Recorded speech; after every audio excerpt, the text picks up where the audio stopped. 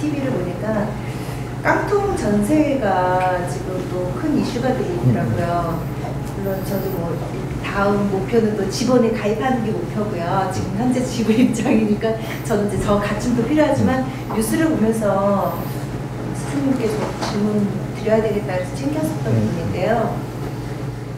어, 아파트를 다량 보유한 집주인들이 은행 대출금 이자를 연체하면서 처리를 완수하지 못해 음. 경매로 넘어가고 전세 사는 다수의 국민들이 깡통 전세라는 아픔을 겪으며 재산을 잃고 방황하고 있습니다.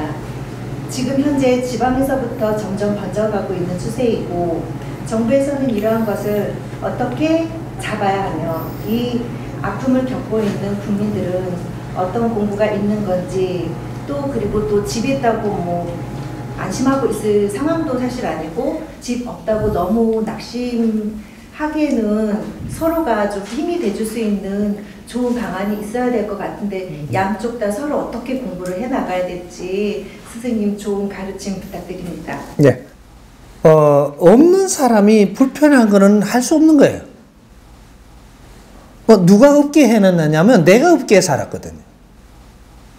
내가 없게 되게끔 살았다, 이 말이죠. 응? 어, 뭐 나는 뭐 전에는 잘 나갔는데 뭐 누구한테 당해가 없다든지, 그러면 전에 잘 나갔을 때 이런 내 공부를 했으면 내가 안 당하죠. 잘 나갔을 때 잘 나가는 것만 생각을 했지 내가 필요한 공부를 안 했잖아요.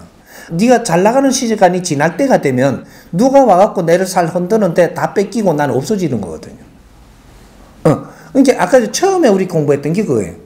니한테 아무리 많이 줘도 이걸 갖다가 운용할 수 있는 네가 춤이 없으면 다 뺏기게 돼 있다.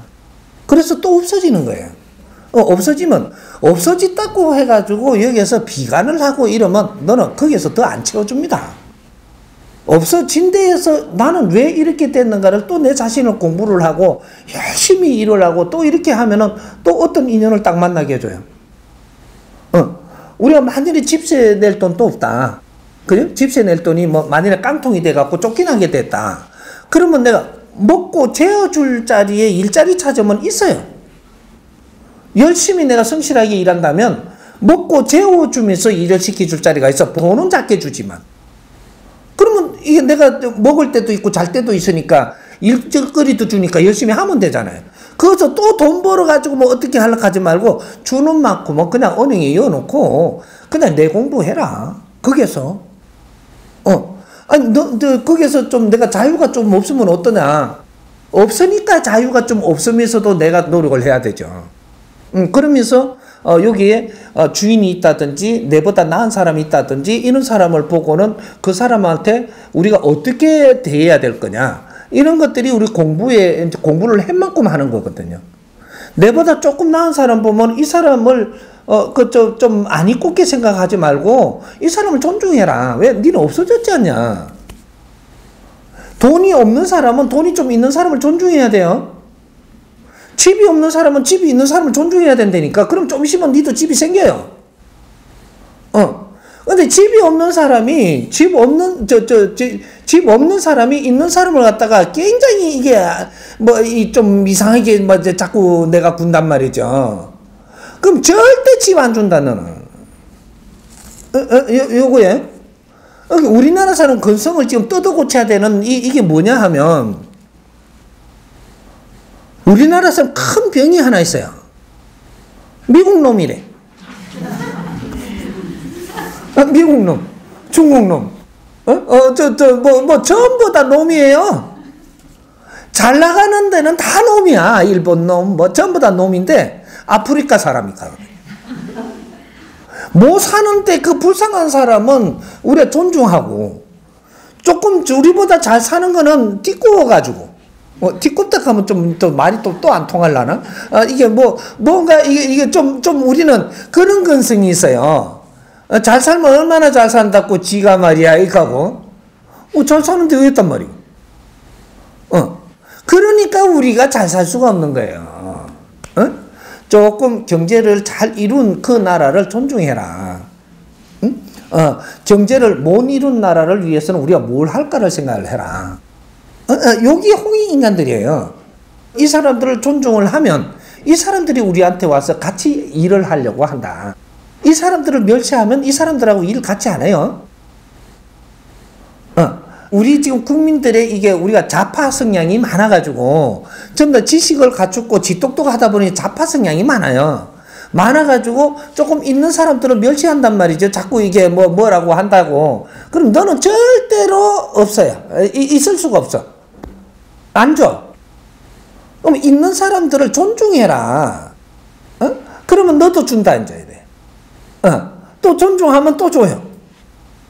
어. 그분들을 존중할 줄 알아야 니도 얻을 수 있는 거지. 어, 이제 좌파 성향을 계속 가지고 멸시를 하고 있으면 나는 가, 갈수록 가난해져요. 왜 가난해질까? 빨리 잡아야 되는 거죠. 어? 있는 사람 존중하고 지금 좀 잘 나가는 사람 존중해라. 그리고 그 사람들하고 이렇게 갖고 유대를 잘 하고 있으면 니한테 그 힘이 들어온다. 이렇게 해가면 크는 거거든요.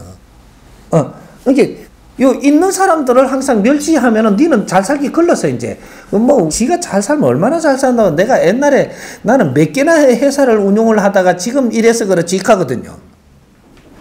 어. 어제 니 니가 그렇게 하기 때문에 망하는 거예요, 지금. 음. 이제 이런 것들을 우리 국민들은 지금 바르게 자연을 접할 줄 알아야 된다. 있고 없는 것도 자연의 방법이다. 자연의 현상이에요. 있는 사람은 있을 이유가 있고 없는 사람은 없을 이유가 있다. 분명히 그렇게 존재하고 있습니다. 어, 그러니까 우리가 없으면 없으면 조금 더 우리가 힘들어도 사회 방법대로 우리는 따라가야 되고 그럼에 배워갖고 힘을 갖춰서 또 그 위에 올라가야 된다. 아, 이런 것들이고 집 없는 사람이 큰 소리는 더 쳐요. 어, 집 없는 게 뭐 자랑이라고 큰 소리를 쳐서. 어, 그지 우리가 이제 그런 것들을 조금 정리만 한다면 우리 누구든지 기본적으로 살 수 있도록 다 만들어 줍니다.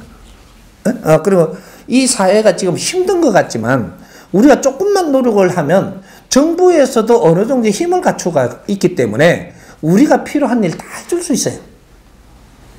근데 정부를 우리는 뭐로 하고 탓하고 욕하고 있기 때문에 정부에서 해줄 수 있는 거를 우리는 혜택을 못 받아요. 정부를 잘 봐야 되고 우리가 활용할 건 잘 활용해야 되고 전부 다 이것이 우리나라고 예? 우리 우리 우리가 주인이란 말이죠. 주인들이 이걸 잘 활용을 해야 되는 거죠.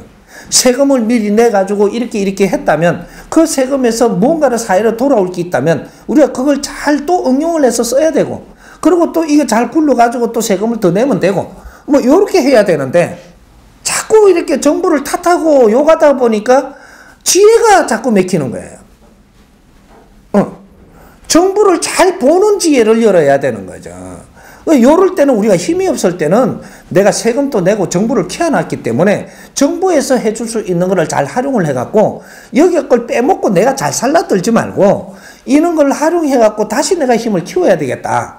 이렇게 해서 힘이 크고 나면 그 다음에 정부의 세금도 또 많이 내면 되잖아요. 어. 요는 지혜를 열어야 된다. 사회를 보는 지혜를.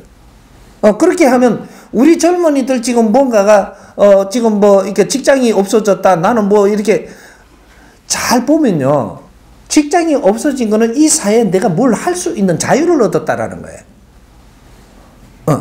어, 눈을 바르게 떠보면 내가 지원받을 수 있는 게 참 많아요. 응? 어, 그렇게 그런 건 안 보인다라는 거죠. 어, 내 욕심 때문에. 어, 그러니까 이제 사회는 전부 다 다 지 나름대로 다 살게끔 만들어질 수 있는 사회인데 우리는 그걸 지금 못 잡고 있는 거죠. 어, 앞으로 이제 지본에서도 그런 거 활동을 하는 데에 자꾸 판을 짜줄 것이고 우리가 힘을 모으며 서로가 살 수 있는 길도 만들어 줄 것이고 어, 어, 이런 걸 다 할 테니까 어, 그런 거 같이 풀어가자.